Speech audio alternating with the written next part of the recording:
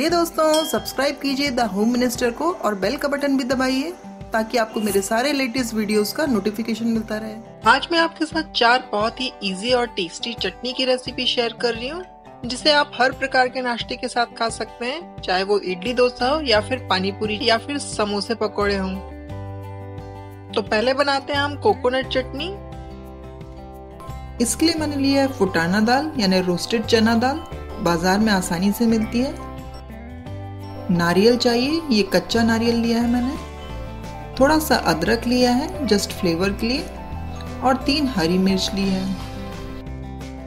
Fresh धनिया चाहिए हमें। नमक चाहिए। तड़के के लिए हमें चाहिए हींग थोड़े सी करी पत्ता, सरसों के दाने और सूखी हुई लाल मिर्च। कुकिंग ऑयल चाहिए हमें। तो एक मिक्सिंग जार में हम सारी चीज़ों को ऐड कर लेंगे। नारियल, फुटाना दाल, हरी मिर्च, धनिया, अदरक। ये सारी चीज़ों को ऐड करना है और इसे अब हम पीस लेंगे। ये देखिए, अब हम इसमें नमक ऐड करेंगे और इसमें थोड़ा सा पानी डालेंगे और इसका एकदम बारीक पेस्ट तैयार करेंगे। और ये हमारी नारियल चटनी तड़के के लिए बिल्कुल तैयार है। अब इसमें तड़का डाल लेते हैं। तो तड़का पैन को गरम करेंगे पहले। इसमें एक दो चम्मच तेल डालेंगे और तेल जब थोड़ा गर्म हो जाए तो उसमें सरसों के दाने डालेंगे। सरसों के दाने अच्छी तरह से फूटना चाहिए। फिर इसमें करी लीव्स और लाल मिर्च डालेंगे। एक पिंच हींग का भी ऐड करेंगे और इस तड़के को अब चटनी के ऊपर डाल देंगे।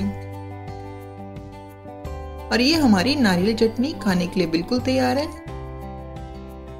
दूसरी चटनी है मूंगफली की। इसके लिए मैंने लिया है मूंगफली, एक कटोरी भर के, एक दो लहसुन लिए है, ये जस्ट फ्लेवर के लिए है, और ये मैंने सूखी हुई लाल मिर्च ली है, और थोड़ी सी इमली ली है। तड़के के लिए मैं यूज़ कर रही हूँ सेसमी सीड्स यानी तिल करी लीव्स सूखी हुई लाल मिर्च। करी लीव्स ऑप्शनल है। कुकिंग ऑयल चाहिए हमें। और नमक चाहिए। सबसे पहले हमें मूंगफली को भूनना है तो गैस पर हम एक कढ़ाई रखेंगे और उसमें मूंगफली को भून लेंगे। इसमें सूखी हुई लाल मिर्च भी ऐड कर लेंगे। ये मैंने तीखी वाली लाल मिर्च और कश्मीरी लाल मिर्च मिक्स करी है। और इसे भी थोड़ी देर भून लेंगे। मूंगफली अच्छी तरह से भून चुकी है। अब गैस को बंद कर लेंगे और इसे मैं एक मिक्सिंग जार में निकाल लेती हूँ।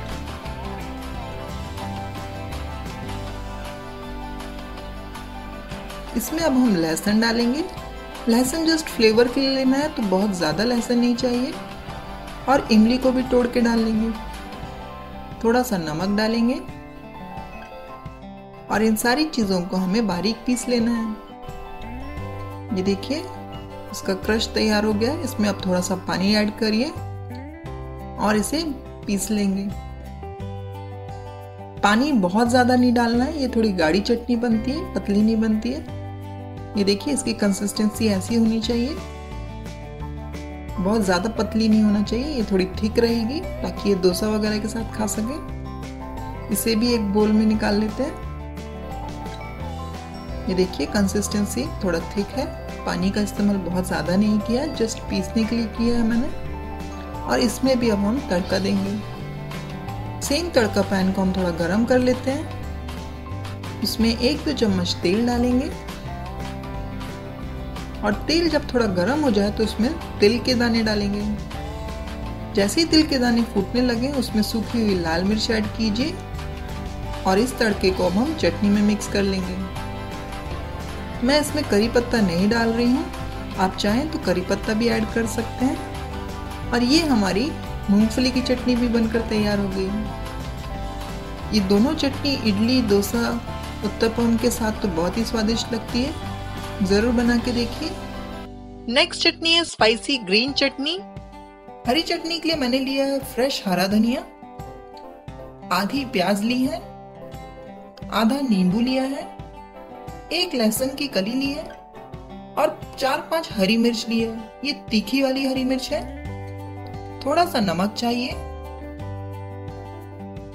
मिक्सिंग जार में हमें इन सारी चीज़ों को ऐड करना है। तो धनिया डालेंगे, प्याज को भी काट के डाल लेंगे, हरी मिर्च ऐड करेंगे, लहसुन मिलाएँगे इसमें और ये नींबू को भी निचोड़ लेंगे।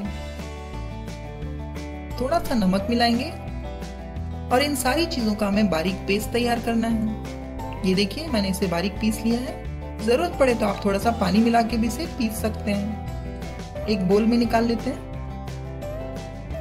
और ये हमारी स्पाइसी हरी चटनी बनकर तैयार है। आप इसी चटनी से एक और वैरायटी बना सकते हैं। तो ये थोड़ी सी चटनी मैं अलग बोल में डाल रही हूँ। और इसमें थोड़ा सा दही ऐड कर रही हूँ।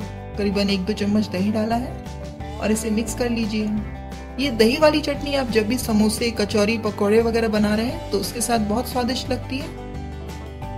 दही लेकिन सर्व करने के थोड़ी देर पहले ही मिलाइए। और ये लास्ट चटनी हम इमली की बनाने वाले हैं। मीठी चटनी के लिए मैंने लिया है इमली का पानी तो मैंने एक कटोरी भरकर इमली का पानी लिया है, और एक कटोरी भरकर गुड़ लिया है। सूखे मसालों में मैंने आधा छोटा चम्मच तिल के दाने, एक छोटा चम्मच लाल मिर्च पाउडर और नमक लिया है। गैस चालू कर कर एक बर्तन रखेंगे उस पर इसमें इमली का पानी और गुड़ को ऐड कर लेंगे। इसे मिक्स कर कर हमें थोड़ी देर पकाना है। गुड़ अब लगभग पिघल चुका है। इसमें अब सारे ड्राई मसाले ऐड कर लेंगे और इसे मिक्स कर कर थोड़ी देर और पका लेते हैं।